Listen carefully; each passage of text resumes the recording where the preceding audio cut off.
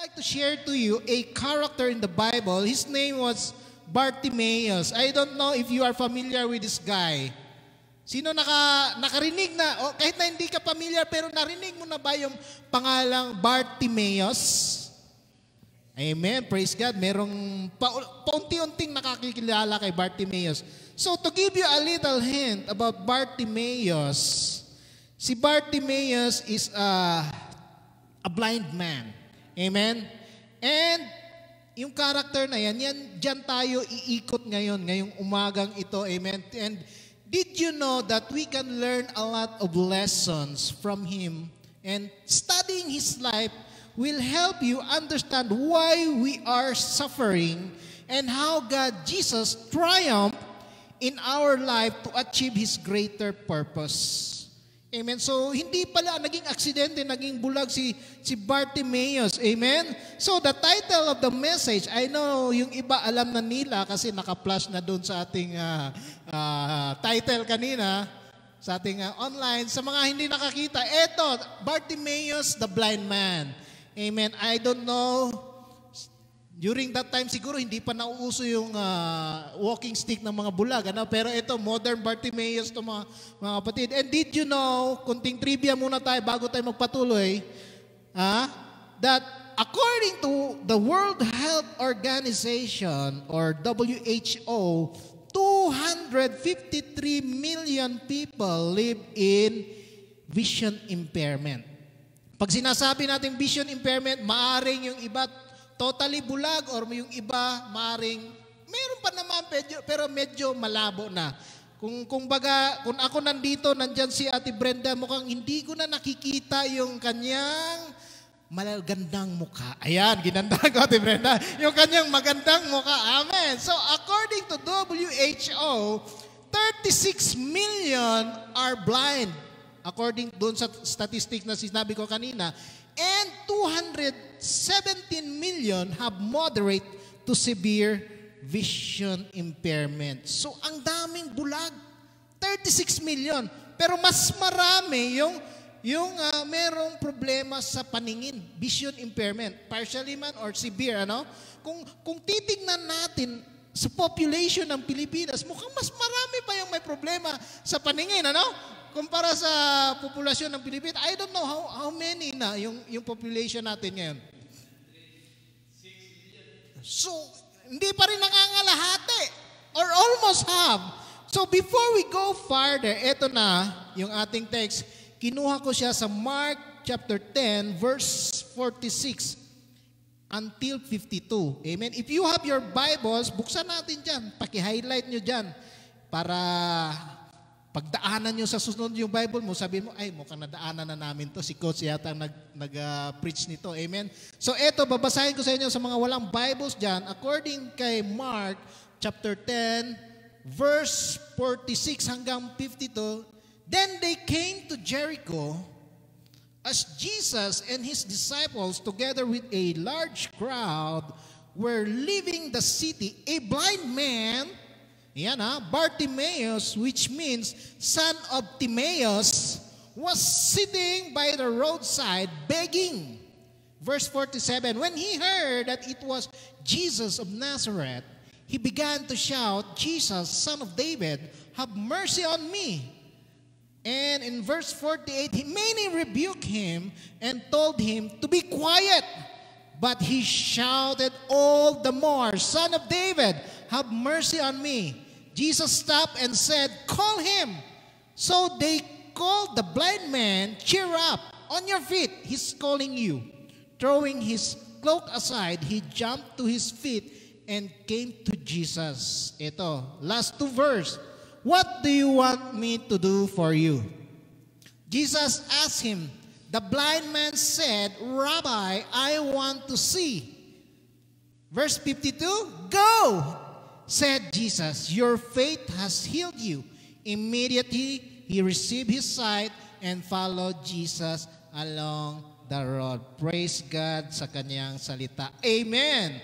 Hallelujah. So, our main character, gaya ng sinabi ko kanina, was Bartimaeus. Amen? So parang uh, wala na tayong naririnig na pangalang Bartimeus ngayon. No? Pero meron tayong naririnig na Bart. Bart! Di ba? Siguro, na-shortcut na. Amen? Amen. Si, ang dami. Ang dami. Amen? So, which literally, ang ibig sabihin doon kanina, di ba? Bartimeus, which literally mean the son of Timaeus. I don't know why he mentioned the son of Timaeus. Baka siguro si Timaeus is a, hindi natin alam. Palagay na lang natin that he was a sikat siguro na tao yung dati, ano? Sikat na tao, mayaman siguro. But nang dahil lang dito sa kanyang anak na si Bartimaeus, naghirap siguro siya. Ah, kasi walang pera pang paggamot eh. Lahat ng kuan na, na, naghirap. Kasi alam naman natin, walang, kung mayroon mang mayaman na bulag, pambihira. But usually, pag bulag, mahirap. So, ngayong umaga mga kapatid, ito, ang titingnan natin, what lessons can we learn from the healing of Bartimaeus? Amen? Ano bang mga aral or uh, anong matutunan natin sa kanya? Our story takes place when Jesus was about to leave Jericho. Yun yun kanina, di ba? Yung paalis na si Jesus kasama ang kanyang mga disipulo, alalahanin natin that during this time, sikat na rin si Jesus. Amen. Ah, ipabalik-balik natin to na yung kanyang Instagram follower, nasa 10 million na rin. Amen. Yung kanyang IG, yung kanyang YT, yung kanyang FB, full of followers na yan. So eto mga kapatid, balikan natin. Then they came sa verse 46 to Jericho. So as Jesus and his disciples together with a large crowd were leaving the city, a blind man, Bartimaeus. So I believe a blind man alam na ni Bartimaeus dito na ika nga, dadaan si Jesus. Mukhang ma, na, alam, ni Kuya Jack ha. Ah, eh, nag-usap siguro kami kagaya. So alam niya na siguro na dadaan. Alam nga ni Kuya Jeff eh. Amen. Alam nga ni Kuya Jeff, ito pa kaya si si si Bartimaeus ano kasi medyo maugong na yung pangalang uh, Jesus during uh, during that time. So and because of that, pumwesto na siya dito sa alam niyang dito talaga dadaan to dadaan talaga to. Walang sabit, walang, uh, sa Bisaya pa, walang sipyat mo, agi na siya diri. Amen? So, ibig sabihin, alam niya siguro that uh, this is the only chance that he could get closer to, to Jesus. Amen. Ito lang, wala nang ibang pagkakataon. So, Bartimaeus was a blind man. Bigyan natin siya ng konting characteristic, no?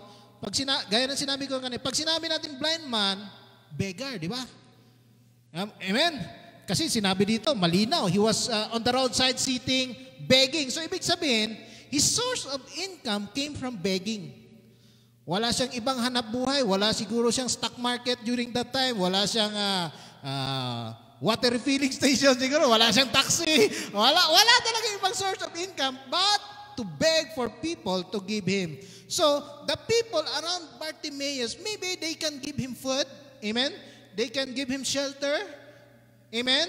Or clothing, or anything. However, there is something that these people cannot give. His sight. Amen. His sight. They cannot give his sight or, uh, but deep inside, one of us have this uh, deep spiritual hole. Yung parang sa atin yan, kung i-relate natin ito, para tayong merong butas. May kulang. Tama si Ate Jem.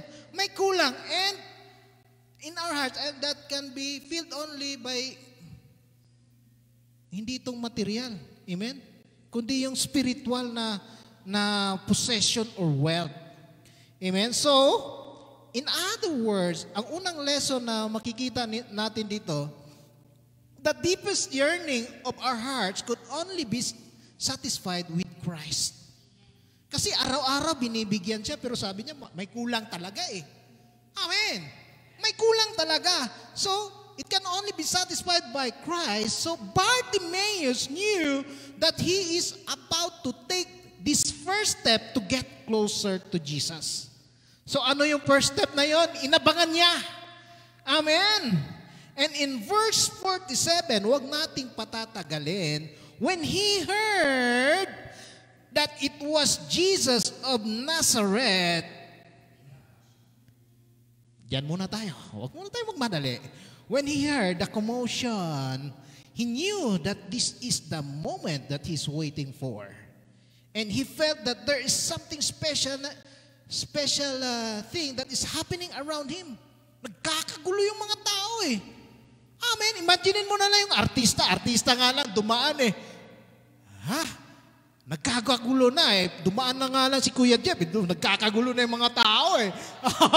Nagkakandara na nga. Sino yun? Sino yun? Napapalingon. Ito pa kaya mga kapatid, si Jesus Christ, ang ingay. So sa halip na namanlimos siya, natanong niya siguro yung mga tao, what's happening? Ito na ba? Amen. So ito na ba? So he wanted to confirm what he felt inside. Na hindi to, hindi, it's not a prank. it's not a prank, it's not a joke. Finally, Jesus of Nazareth passed by. Amen. Ito yun oh, dumaan yan oh, when he heard, yan yan. Probably, marami ng mga naririnig si Bartimaeus sa kanya. Isa na siguro doon yung, di ba, he, he healed, he healed a blind man, he healed, uh, kasi sa book of Luke, at saka sa isa pa sa, sa Matthew ba siguro yon Tatlo lang to siya, yeah? or sa John, na-mention doon na merong blind man na hinil si Jesus, pero hindi pinangalanan. Hindi pinangalanan. Pero ito mga kapatid, pinangalanan Bartimeus. Amen? So, ibig sabihin, si, si Bartimeus ngayon, na, marami na siyang narinig na himala about Jesus. So, all the years of not seeing, all the years of living in darkness will now come to an end. Pero mayroong malaking if. If he can get Christ's attention. Amen? If he can get Christ's attention, so what did he do? Ano mang nakikita natin dyan? What did he, he do? Bumulong ba siya? Jesus, nandito lang ako. Jesus, huwag ka, huwag ka mayo, nandito lang ako. Hindi, di ba? Ano ang nangyari? He began to shout! At anong sinigaw niya? Yan, nagising na natulog sa likod. He began to shout. And a little, that is only, yung, yung pag nag-shout siya, hindi niya lang sinout na Jesus eh. He shouted, Jesus, Son of David. Pag binanggit mo yung pangalang Son of David, it's a title that is only reserved for the promised Messiah. Amen? So, and anointed one. So ibig sabihin, ina-acknowledge niya that this Jesus is a Messiah. And this is an anointed one. What was his intense request ngayon? Nung sumigaw siyang, uh, Jesus, Son of David! Ano ngayon ang kanyang request, mga kapatid? Ang tatalino. Praise God! Hindi niya naman sinabing, pagalingin mo na ako. Kanina pa ako nag-aantay dito. Alam mo naman, bulag to eh. Amen. So, he was asking, have mercy on me. Like any of us, we need God's tremendous mercy. Amen? Kasi kung tayo lang, wala talaga tayong magagawa. Kaya sabi nga natin, Lord, have mercy. Breakthrough, Lord. Finances, breakthrough. Wala talagang may bigay si Coach. Kahit na offering na lang. Wala talaga. Pangalawang linggo na to. Lord, mukhang tuyot talaga si Coach. Amen. Amen. Pero sabi, sabi siguro ni Coach, have mercy, Lord. Na, uulan din na pagpapala yan. Amen. Amen. So, as we can see, mga kapatid, yes, palakpakan natin si Lord. As we can see, Bartimaeus also felt that. He did not immediately ask for, for his vision to be restored. Amen. Amen. So kung amen ka dyan, itype mo dyan, amen. He asked first for mercy because he knew that Jesus is full of mercy and compassion. Amen? Naalala natin yung babae, tinatch nga lang yung laylayan ni Jesus, di ba? Dumaan lang si Jesus Christ, natouch yung laylayan, pinagaling niya pa kaya. Ito pa, hindi nga nagsabi yung have mercy. Di ba? Faith lang yun, di ba? Ito pa kaya si Bartimaeus na nagmamakawa, have mercy. So being a blind man, in other words, he is powerless on his own. Amen? Kasi kahit na nandyan si Jesus, kung, kung bulag tayo, may magagawa ka ba? eh nandito si Jesus, sumisigaw ka doon patalikod. Amen. So opposite way yung sigaw mo, Jesus. Eh, paano ka maririnig? Dito si Jesus. So kung blind man ka, he is powerless. He can't run to Jesus. Hindi niya ibig sabihin na narinig niya si Jesus, ay tatakbo na kaagad siya doon kay Jesus. All he can do is cry out and shout as loud as possible to get the attention of Jesus. Now that Bartimaeus has decided to call on Jesus, anong nangyari? When he immediately, was he immediately, na, gumaling ba siya? No. The opposite was true. Hindi pa siya gumaling. Amen?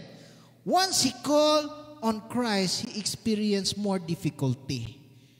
Amen. So parang sa ating buhay rin, ito yung mga lesson na ating uh, makukuha. Kung may pinagdadaanan ka, once you call on Jesus, victory na ba kaagad? Amen? Gold medal na ba kaagad? No! He, baliktad ang nangyari. Ganyan sinabi ko. He experienced more difficulty. Verse 48, basahin natin. Ba't nasabi natin ganon? Kasi mayroong lesson to. Akala nyo, kwento-kwentuhan lang tong ginagawa ni Coach. Ha? Many rebuked him and told him to be quiet. Manahimik ka dyan, Bartimaeus. Ang ingay mo naman, no?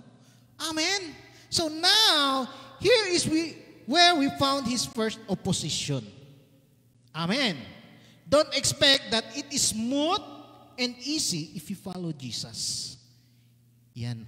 Another lesson na matutunan natin dyan. Don't expect. Kasi yung iba, pag sabi nila siguro na, I will follow Jesus, eh, I'll be lying in a bed of roses. Ha? Wala na to. Ah, victory lahat. Victory, victory. Blessing, blessing lahat. Amen? yun ang akala ng iba eh. Amen? But don't expect that. And it is very interesting to know that the opposition, ito yung pinakamasaklap dito, did not come from the Roman soldiers. Hindi ma, wala ka tayong narinig ng mga Roman soldier doon. Wala siguro tayong narinig ng mga pulis doon, ano? Na maaring mag, uh, but to the unbelieving Gentiles. Yun yung mga opposition niya, yung mga Gentiles na naniniwala kay Jesus, pero, Amen. So, real talk tayo. Ito, real talk tayo. And I want you to all to put this in your head. Real talk. Real talk, ha? Kasi kadalasang nangyayari ito. Ipa-flash ko sa screen para sa mga gusto mag-screenshot. Ito na. Ayan. Real talk. One of the greatest ironies in life that is yung mga tao daw na ini-expect natin na siyang tutulong sa atin, tatabi ako. Kasi screenshot to eh. Are the ones who will put you down. Amen? Amen. Yung mga taong inaasahan mong tutulong sa iyo are the ones who will put you down. I have this experience 2011. Ah, real talk, para magkaroon tayo ng more, ano bang buhay ni Coach Rich. 2011, I was here in Saudi Arabia. Amen, I was here in Saudi Arabia. Mayla, naiwan sa Pilipinas. Para ma-enjoy naman natin yung ating, uh. Kasi real talk, mas maganda yung real talk, real life experience eh. Real talk, ito na. Gusto ko nang kukunin si Myla at si, si Sam pa nun. Ay, oo nga, si, si Myla at si Sam. Si David hindi nakasali kasi nung umalis ako, he was only a few months old. So ibig sabihin, wala pa siyang passport. So here comes na pag hindi ito makaalis si Myla, maaring makulong na siya. Amen? Na, nagets natin kasi nag, si coach 2010. Kailangang mag-abroad. Maraming checking pinirmahan. So maraming ngayong naghahabol na koleksyon. Kung hindi makalabas si Myla, maaring makulong. And the one of the ironies in life here, humingi ako ng tulong sa parents ko. Anong nangyari? The thing that you expect that will help you is the one who will put you down. Ang sakit man isipin mga kapatid, para akong binagsakan ng langit at lupa. Pero wala akong magawa. Gaya nga na sinabi nila, pinasukan mo yan, labasan mo. Ang ending, alam nyo na ang ending. Ay, hindi pa rin. hindi pa rin nilalawa. Sige, kwento, real life pa rin tayo. So, ang ending, pumunta si Coach sa isang Bombay, pero hindi naman siya Bombay, Pilipino siya dito dati. Nagpa 5'6 siya. So ang ending, doon ako napunta sa 5'6 na Pilipino. Sa madaling sabi, nakalabas si Myla ng bansa, safe, si, si Sam, safe. Si David, naiwan, kawawa. Kasi hindi na mahabol kasi wala nga siyang passport.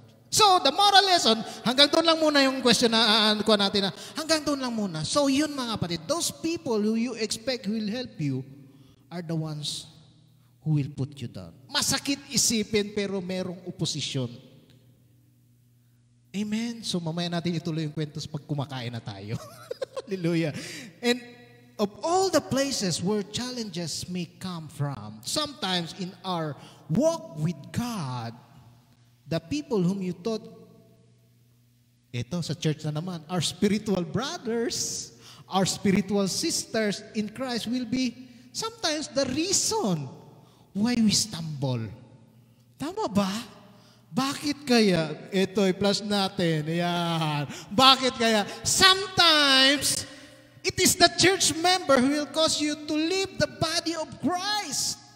That is why it is very crucial that, di ba kanina, mga supporter ni Jesus yun eh.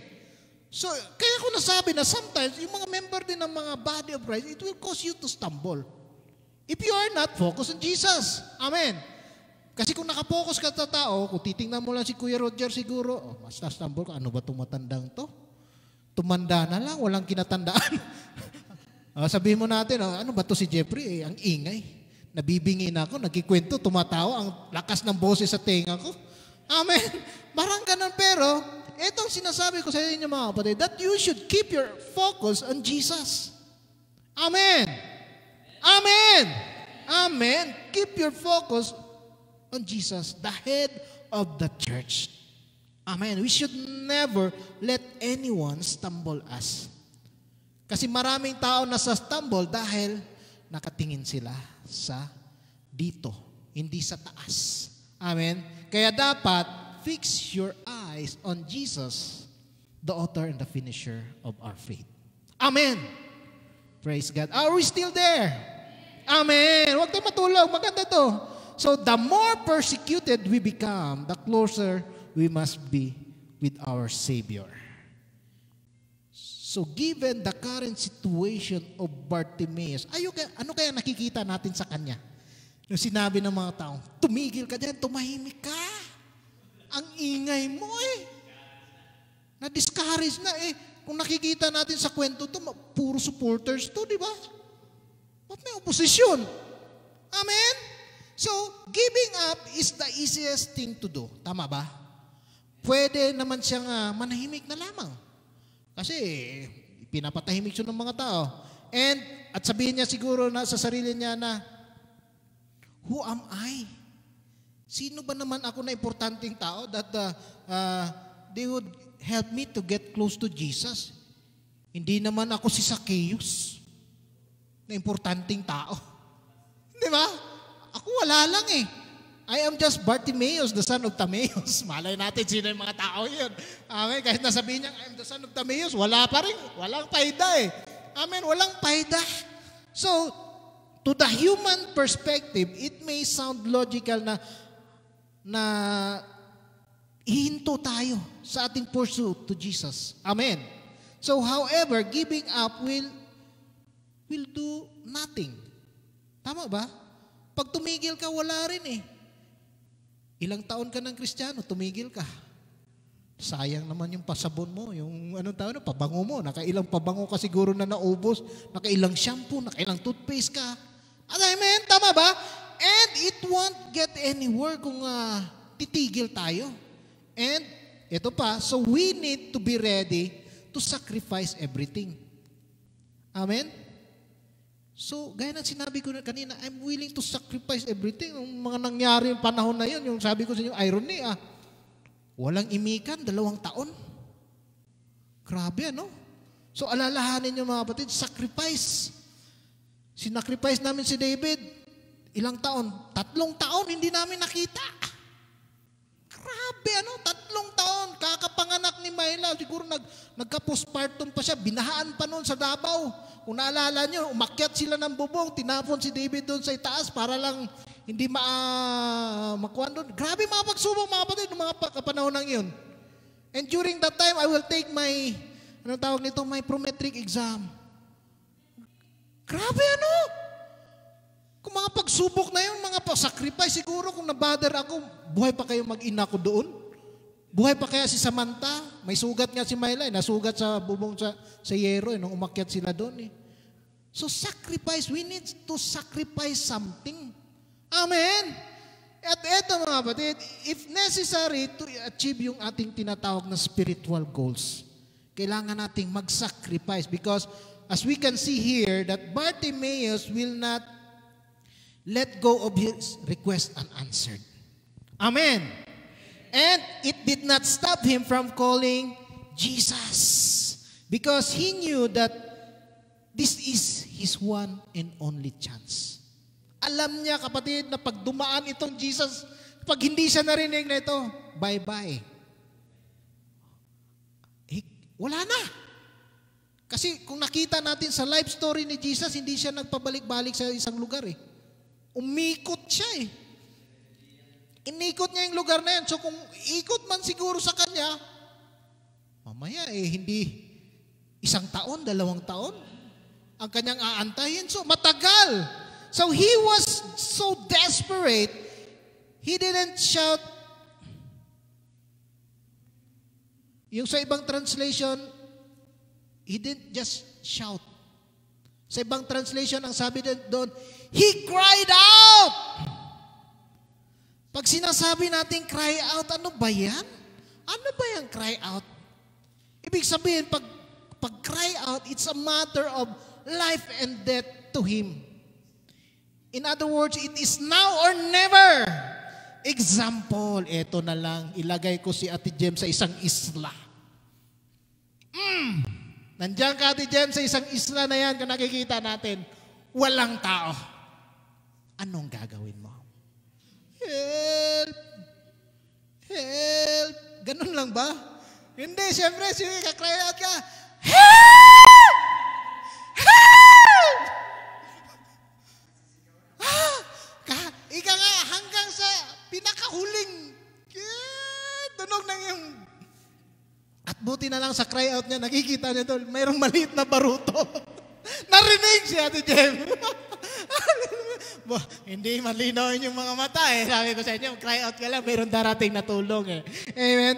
What will you do to get help? Ibig sabihin, iyak ka sa uli mong uh, sigaw. Amen. Na hindi ka na marinig, you will cry out. In the same manner, that's what Bartimaeus did.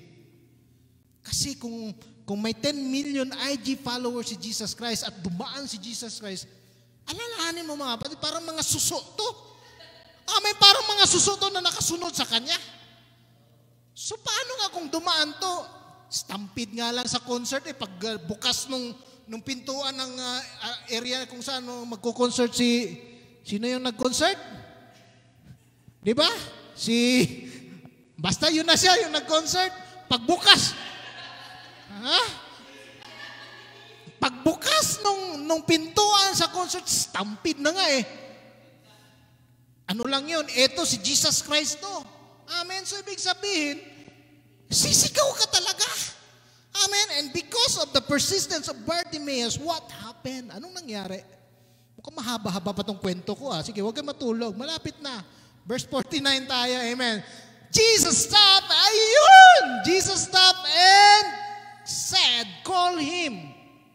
So as a result, Jesus stopped and called Bartimaeus. Yun pala, oh. Nagkaroon ng bunga. Amen. So Jesus Christ commanded him to to come because of his great mercy and compassion, ito narinig. Kasi pwede naman siyang daanan ni Jesus eh. Manda, alam ko naman, marami tumatawag sa akin. Kinikilig ako pag ha? Di ba merong mga taon to, ganun, di ba? Pag uh, tumatawag, uy, uy. Lalo na yung crush mo, crush mo. Tapos sabi mo, ay, parang walang narinig. Ay, tapos tumada na, parang walang narinig. Tinatawag mo pangalan, Jeff, Jeff. Parang walang narinig, ha? Ah, grabe naman to. Ang, uh, Gwapong-gwapo si Kuya Jeff sa kanyang sarili, hindi lumilingon eh. Hallelujah! So parang ito naman, pwede siyang daanan ni Jesus kasi busy yung schedule ni Jesus. Amen? So, alalahanan natin na, na ito mga kapatid, mahirap kunin ang attention ni Jesus. But, as we read in, uh, uh, yun pa rin, verse 49 pa rin, ang sabi dito, cheer up! Amen? Cheer up! Can you imagine the reaction of this blind man? Pag sinabi natin cheer up, magalak ka! Magkalaga, moments ago, he was so desperate. Tama ba? Kanina lang eh, nangingiyak-ngiyak na siyang marinig. So ngayon, eto, cheer up na. So medyo maganda na. Mukhang may, may patutunguhan na yung kanyang pagsisigaw. When he was at his lowest, someone called him cheer up. Kasi lowest talaga yun eh. Hindi natin, hindi naman nasabi doon kung ilang ilang araw siya naging bulag. Maaring nung pinanganak na to siya, bulag na to. Amen. So maaaring bulag na yan. At pag sinabing cheer at, at that very moment, nabuhayan siya ng Lord because he knew that Jesus heard him. Amen. And he has a very reason to rejoice. Why?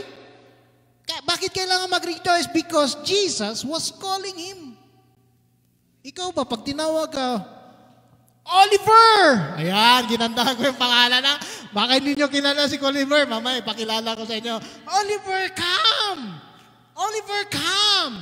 Siyempre, ang sarap ng pakiramdam no, tinatawag ka ni Jesus that this could be the best message that the blind man could ever hear.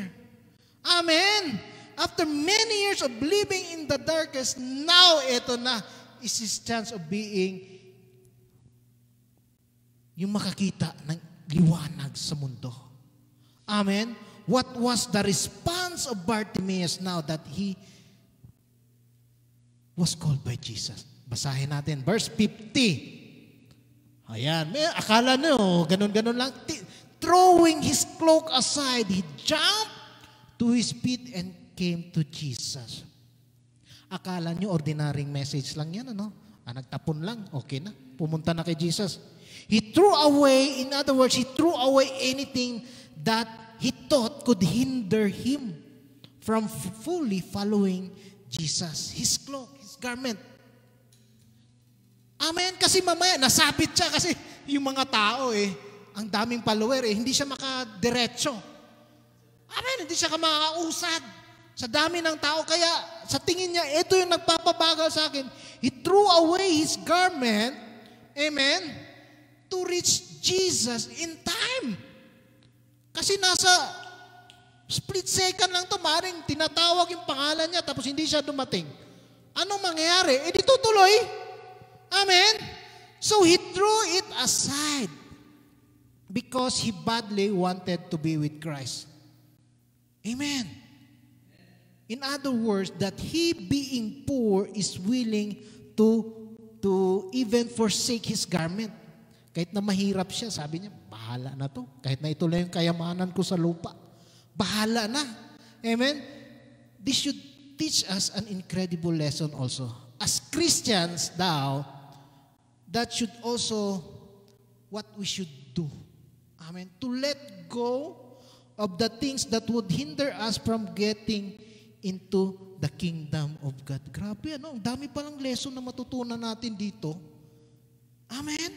Akala natin nagtapon lang ng damit, okay na yun. So in other words, ang lesson na tinuturo dito, kung ano man kapatid ang naghihinder sa iyo sa, sa pag-serve sa Panginoon, maaring love life mo yan, nakapokus ka na doon sa kasintahan mo, wala ka ng oras mag-devotion. Amen!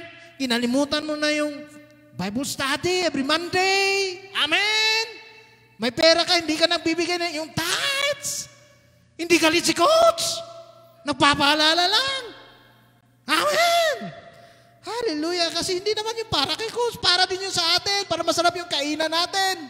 Para hindi na tayo dudukot ng isang daan para sa para galing sa ating bulsa.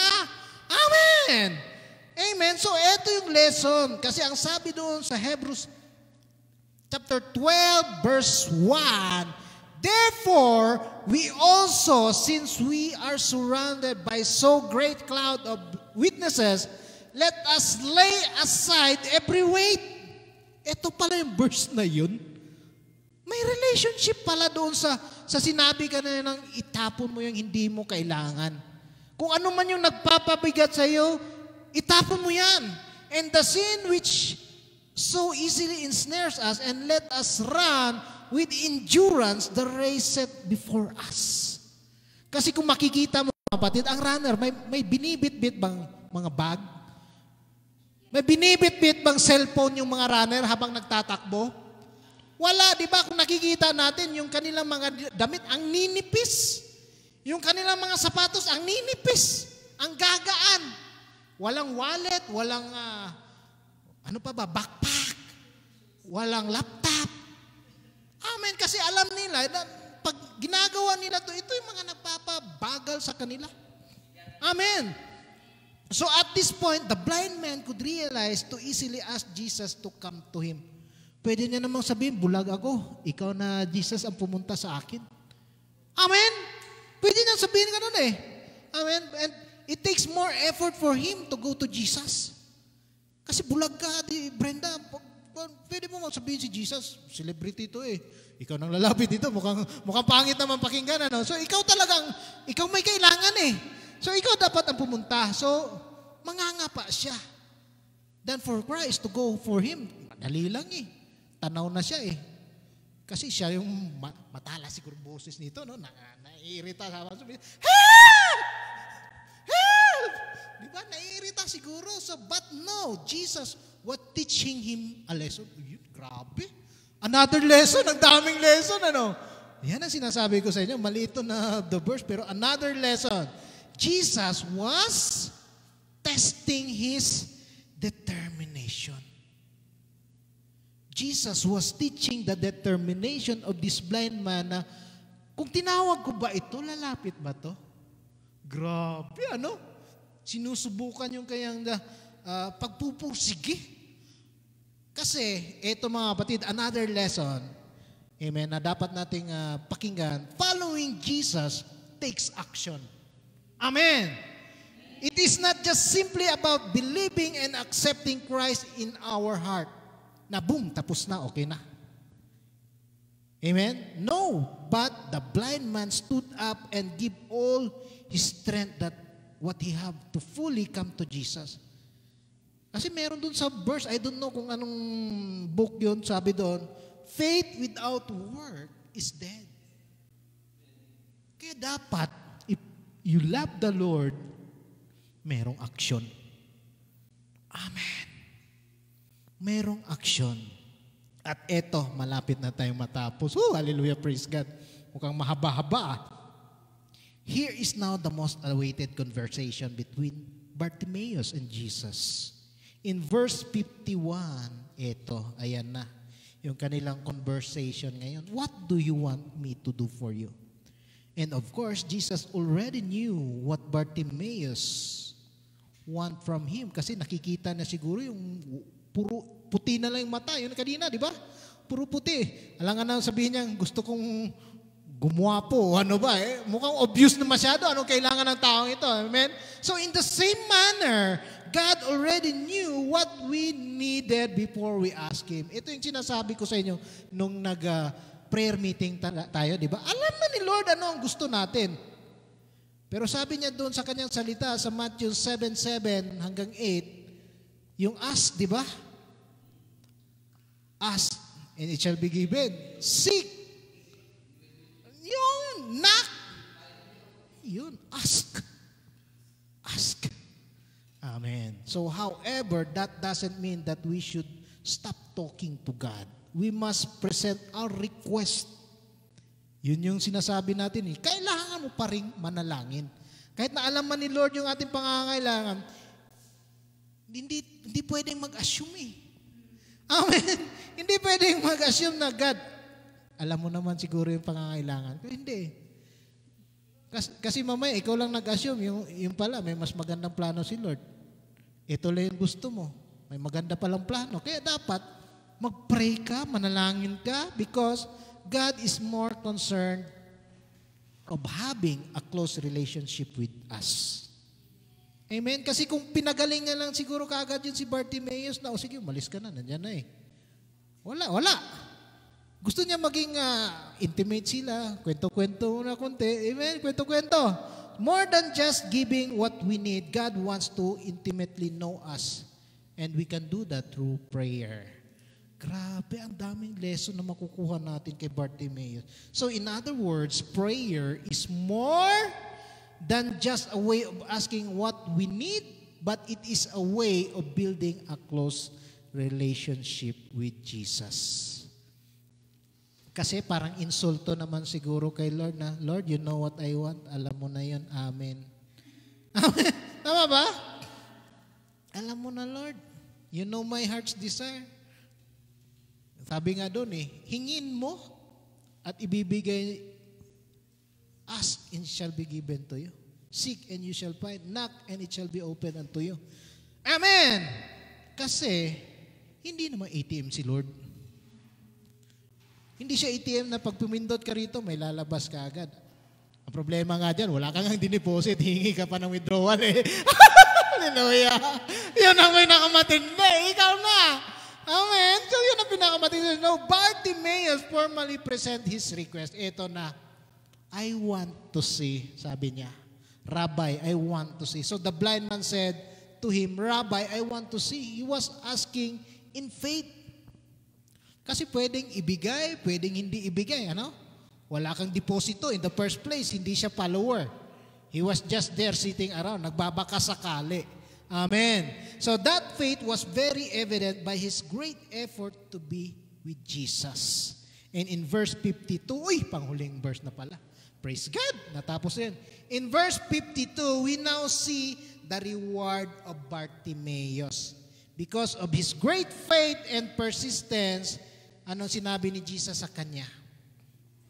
Basahin natin. Go, said Jesus. Your faith has healed you immediately. He received his sight and followed Jesus along. Ano ang nangyari? When he received his sight, immediately. Amen. As a result, he can now see the beauty of God's creation. Wow! However, in that day, Bartimaeus did not just receive his sight. Hindi lang sight ang kanyang natanggap. He received a more important gift which is given to man. Alam ba natin yon? Gusto mo malaman ano yung regalo na binigay ng Panginoon? Mukhang wala. Gusto ba nating malaman? Amen! Ayan, dapat excited tayo. Makinig ka para hindi ka mawala kapatid. Kasi sabi ko kanina, gusto ba naman natin malaman kung ano yung natanggap na regalo maliban sa kanyang paningin? God is calling you. Amen. God is calling you. Above all else, God's calling gives Bartimaeus a unique part of God's coming kingdom. Amen. Kasi ano nangyari? Pag na-receive niya ang sight niya, lumayo ba siya? He followed Jesus along the road. Amen. So pag tinawag ka, Anong gagawin mo? Huwag ka nang lumayo. Ang daming kristyanong ganun eh. Tinawag na. Brad, ikaw muna magmensahe ngayong biyernes ha. Kasi may pabalik-balik na lang kami ni Kuya Jeb. Yung nakasasawa na yung ating mga subscriber. Baka lilib group na. Ah, ano sasabihin na? Ihiya ako. Ihiya ako, kutsi. Sunod na lang. Ah, gaganon-ganon pa ba? Ah, Bumipilipit pa ba eh? Amen? Bumipilipit ba? Dapat, pag tinawag ka kapatid, dapat magalak ka. Kasi ang daming tinawag na yung few are, many are called, but few are chosen. You are one of the chosen. Palakpakan natin si Lord. Amen. Hallelujah. Yan. Huwag tayo matulog eh, because it is a blessing that we receive that calling. Amen.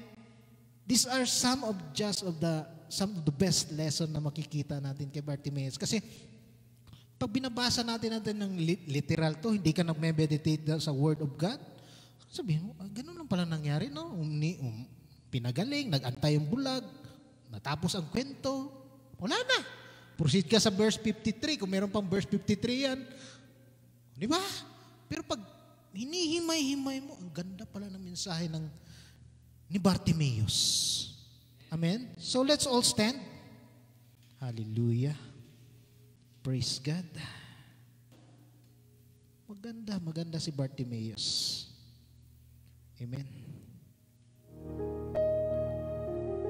I hope na meron tayong natutunan, no? Na hindi lang yung puro joke lang yung maalala natin na merong sumigaw doon sa isla ng help!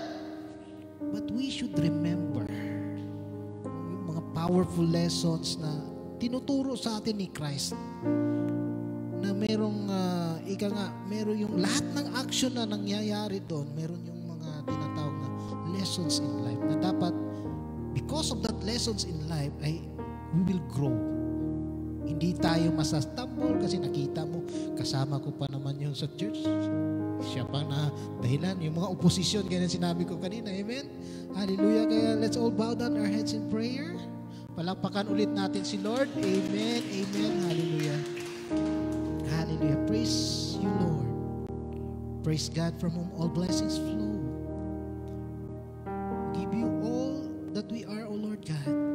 Thank you, Lord, sa mensahe ngayong umaga, Lord. I know that it is not an accident, O Lord God, that we hear the story of Bartimaeus na parang storytelling lang, bedtime stories, O Lord God. But I know that this Bartimaeus teach us a good lesson sa aming spiritual life, O Lord God, na we should not stop pursuing you, Lord, in our hearts. We should cry out to seek more more, more, more, more of you, Lord, and less of us in our life, O Lord God. That it is a privilege, O Lord God, to be chosen. Kaya sinabi na yung salita, many are called, but few are chosen. And mapalad kami, Panginoon Diyos, na isa kami sa mga pinili mo, Panginoon, na nandito Naghahayag na yung salita, Panginoon. Nagpapagamit namin mga talents, O Lord God. Napapagamit namin finances for the church, improvement, O Lord God. Napapagamit namin oras, O Lord God. Kahit na panahon na ng pahinga, Panginoon, nandito pa rin, O Lord God. Nagpupuri, nag, nagpapasalamat sa iyong buhay na pangalan, Panginoon Diyos. We thank you, Lord God, for reminding us once again that, Lord, we need you more than I need myself. Lord, thank you for your uh, story to us, O Lord God, for teaching us these powerful lessons, O Lord God, na siya magagamit namin, Panginoon Diyos, sa pang-araw-araw namin pamumuhay bilang mga Kristiyan. Lord, I pray na selyuhan mo, Panginoon Diyos, ang iyong salita, na hindi tumanakaw, Panginoon, ang aming kaaway na si Satanas. And I pray that, Lord God, itanim mo ito, Panginoon Diyos, sa pinakamatabang bahagi ng aming puso na Lord God, ang salitang ito, Panginoon, ay hindi hindi lang hanggang dyan. Kundi, Lord God, it will will grow like a mustard seed, O Lord God. It will grow. Singliit man ng mustard seed yung aming faith, O Lord God. It will grow, O Lord God, more and more na yung mga taong nakapalibot sa amin, O Lord, will be blessed, O Lord God, also sa aming mga buhay that, that Christ will be seen in our lives, O Lord God. Hallelujah. Kay Lord God, maraming salamat, Panginoon Diyos, for using me today. Thank you, Lord God, for this honor to, to bring the message, Lord God, to your people this morning. Kaya Lord God, sa iyo lamang, Panginoon Diyos, ang pinakamataas na papuri. Sa iyo lamang, Panginoon Diyos, ang pinakamataas na parangal. At sa iyo lamang, O Diyos, ang pinakamataas na uh, pagdakila sa matamis na pangalan ni Jesus. Amen, amen, amen. Praise God.